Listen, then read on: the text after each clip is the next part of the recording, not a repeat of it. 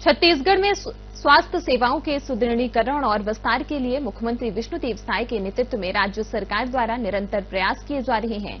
इसी दिशा में एक और महत्वपूर्ण कदम उठाते हुए मुख्यमंत्री विष्णुदेव साय ने मनेन्द्रगढ़ चिरमिरी, भरतपुर में बड़ा बाज़ार, चिरमिरी में सौ बेड वाले सर्व सुविधायुक्त जिला चिकित्सालय का शुभारंभ किया। वहीं मुख्यमंत्री ने सामुदायिक स्वास्थ्य केंद्र जनकपुर में सौ बेड वाले अस्पताल के सेटअप स्वीकृत करने, भरतपुर में अनुविभागीय अधिकारी पुलिस के पद की स्वीकृति और चिरमिरी चिरमिरी खोगा पानी झंगराखंड में ग्रिड से विद्युत सप्लाई की घोषणा की। गौरतलब है कि जिला अस्पताल चिरमिरी को अत्याधुनिक उपकरणों और सुविधाओं से लैस किया गया है। उस अस्पताल के बनने से जरूरतमंद लोगों को उच्च गुणवत्ता की स्वास्थ्य सेवाएँ उपलब्ध होंगी। इस मौके पर सीएम ने सभी उपस्थित जनों को संबोधित किया।